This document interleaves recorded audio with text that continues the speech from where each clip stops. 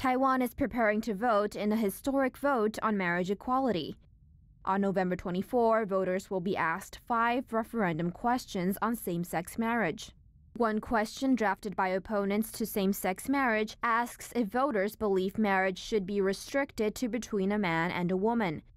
Another question, also drafted by same sex marriage opponents, asks if the voter agrees that education about homosexuality should not be taught in elementary and junior high school under Taiwan's Gender Equity Education Act. Another question created by supporters of same sex marriage asks if education about homosexuality should be taught in elementary and junior high school under the Gender Equity Education Act. Another question, drafted by same sex marriage supporters, asks if the voter agrees to guarantee the rights of same sex marriage couples under Taiwan's civil code. And one question, drafted by same sex marriage opponents, asks if voters agree that the rights of non married same sex couples who live together can be protected.